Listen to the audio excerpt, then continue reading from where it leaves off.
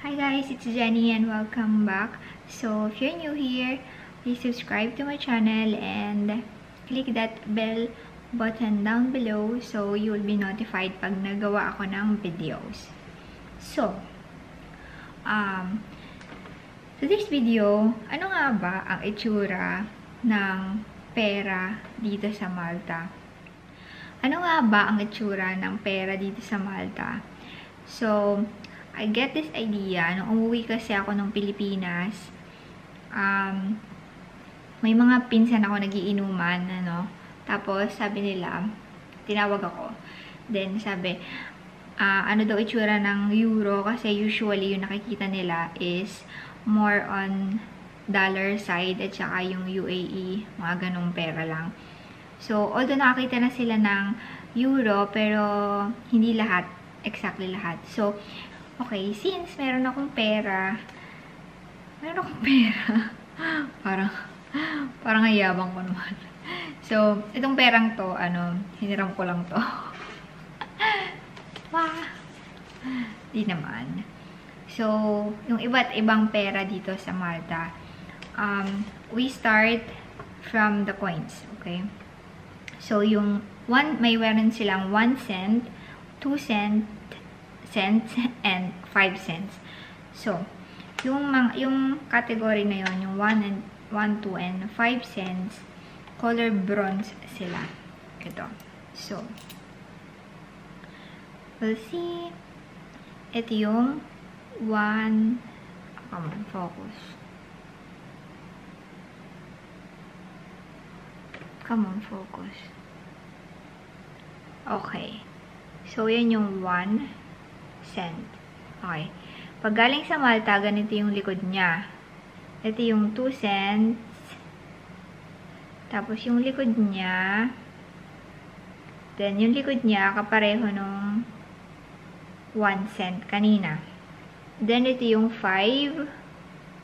Tapos yung likod niya, kapareho lang din nung cents kanina.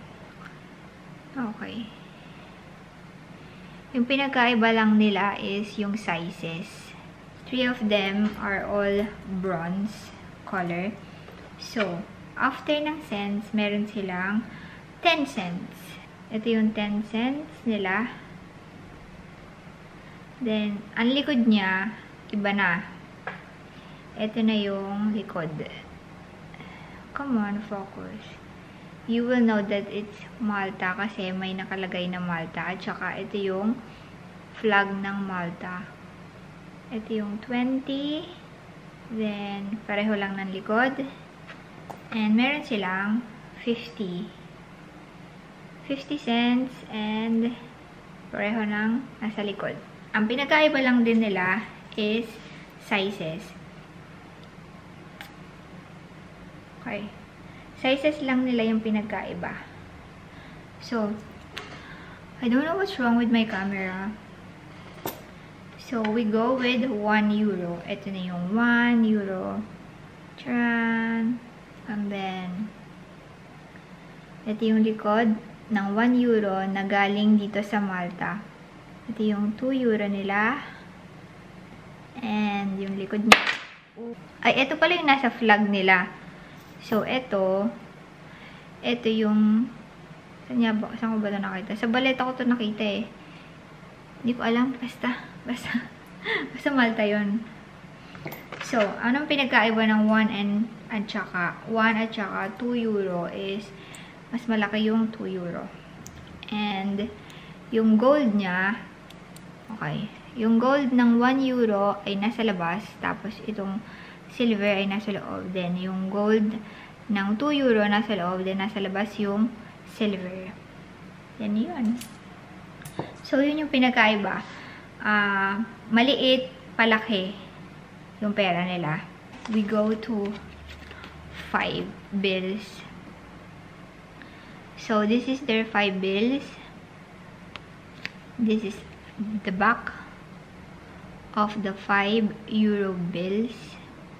Meron siyang watermark. Hindi ko alam kung makikita sa camera yung watermark, but meron siyang watermark dito. Parang, I don't know if this is the queen.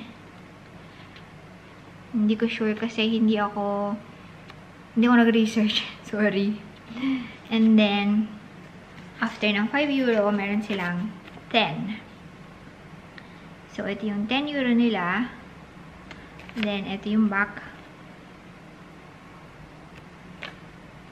So, may watermark din uli siya dito ng Queen of England. Ay, I'm not sure pala.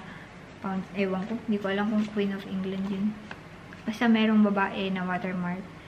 So, ito yung 20. Tsura 20. Color blue.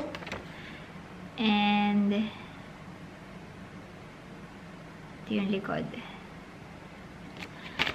Ang 20 yata sa atin is, ano no, nung umuwi ako, 20 at 50, parang nalilito ako doon. Sa kulay nila.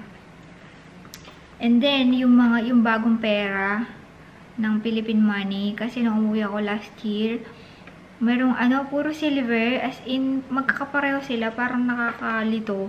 Ewan kung ba't ganun yung ginawa nila dun. Then, after the 20, meron silang 50 na bills. So, ito ang 50 bills sa euro. Color brown. Brown siya. So, we do the math now. So, ano nga ba ang equivalent nito, nitong 5 euro na green sa pesos? Okay. 5 times 58. So, ay, ano ba? 5 times 58. Or 58 times 5. 5 times 58. 58 times 5. So, ito, itong bills na to nagkakahalaga ng 290 pesos sa pera natin.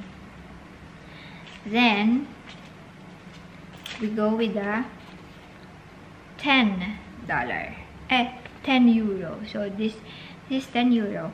10 times 58 equals, so this one cost 580 pesos sa atin sa Pilipinas.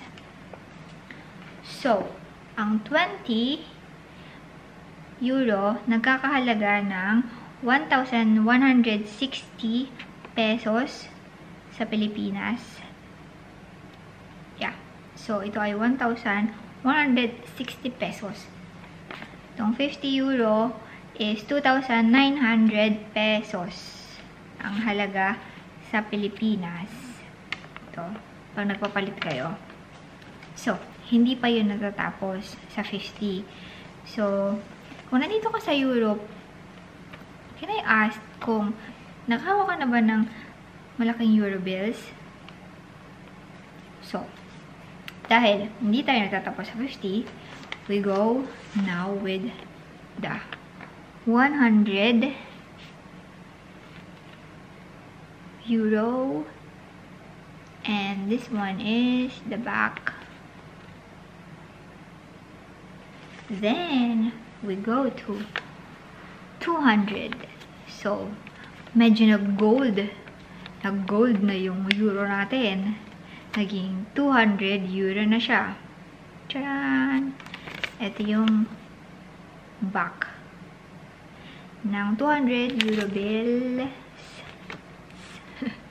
As in, so, 200 euro bills. And, did you see already this one? So, we also have 500 euro bills. So, ito yung likod. Ito yung harap. Wow.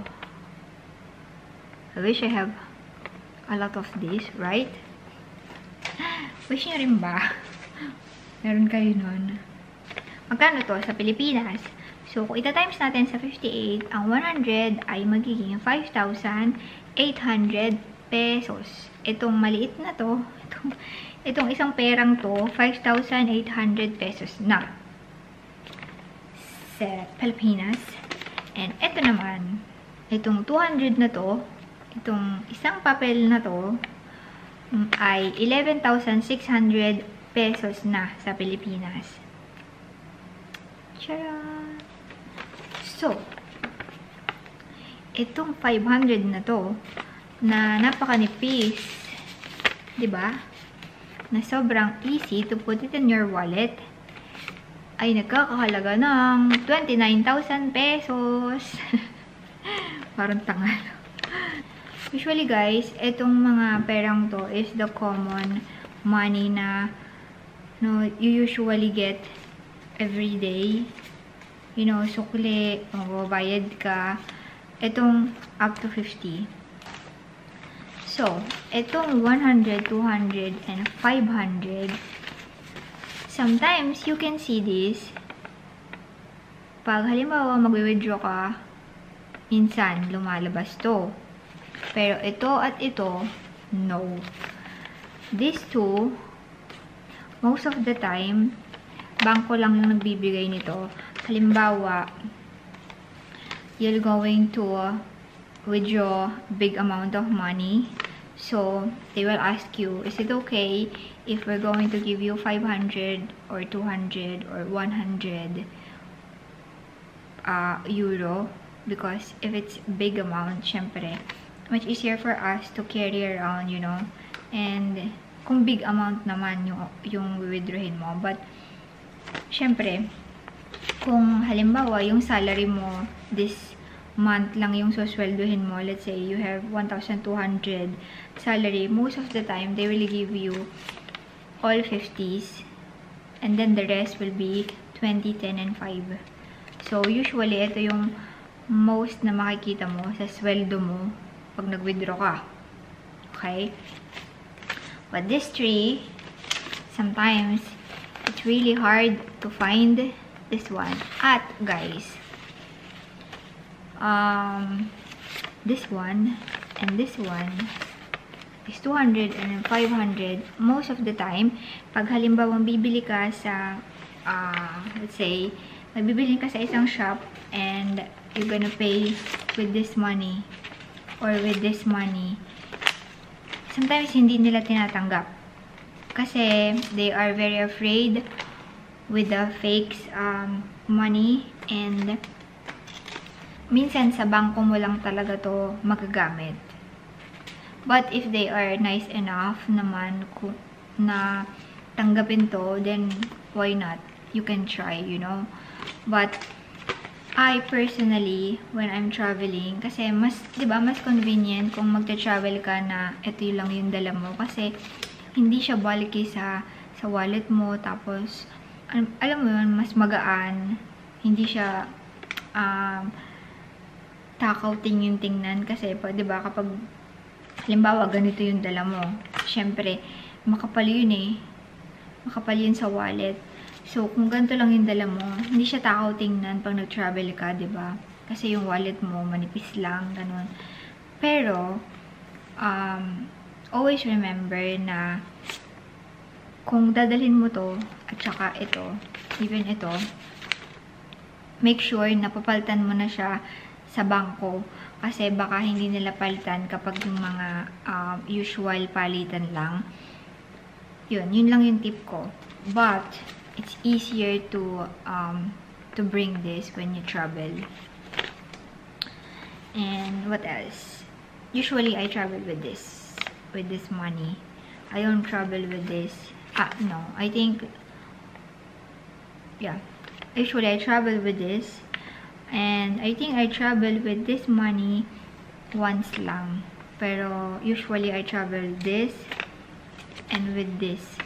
Kasi para sure na wala akong magiging problema, 'di ba? Na mapapalitan nila yung pera ko in case kailanganin. So yun guys. So yun lang guys. Um I know it's quite boring tong tong video na to, but for me, it, it's a little bit interesting na ipakita sa inyo or I just want to ask if you own already this money, especially these three. Kasi, di ba, parang, you know, you're in Europe, uh, parang sarap din na meron ka sa, sa wallet mo na gantong halaga. Alam mo yun, for emergency or ano, nasa wallet mo lang siya. Yung parang, hindi naman collection kasi pag, nag, pag sinabi mong collection, dapat marami, ba So, kahit isa lang of this, ba So, nice to have it on your wallet. Yun lang. Feel safe lang na in case something goes wrong, meron kang madudukot, ba So, guys, yun. And, thank you guys for watching and And comment down below kung meron ka nito, nito sa wallet mo. And I'm very happy to know. And yun guys. So, thank you so much for watching and see you in my next video. Don't forget to subscribe.